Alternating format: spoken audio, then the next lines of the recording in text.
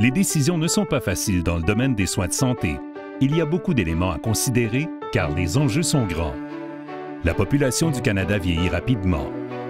L'infrastructure et le personnel médicaux sont surchargés. La demande de soins est à la hausse, tout comme les coûts. Les traitements et la technologie évoluent, mais est-ce suffisant? C'est le moment où elle entre en jeu. Elle évaluera de nombreux éléments, les antécédents, les facteurs de risque et les perspectives à long terme. Puis, elle formulera une recommandation susceptible de changer l'avenir des soins de santé. Mais elle n'est pas médecin, elle est actuaire. Les actuaires se spécialisent dans les statistiques, la modélisation prédictive et l'atténuation des risques. Ils peuvent nous aider à prendre de meilleures décisions pour l'avenir du Canada. Obtenez un deuxième avis à cia ica.ca baroblique fr baroblique soins de santé.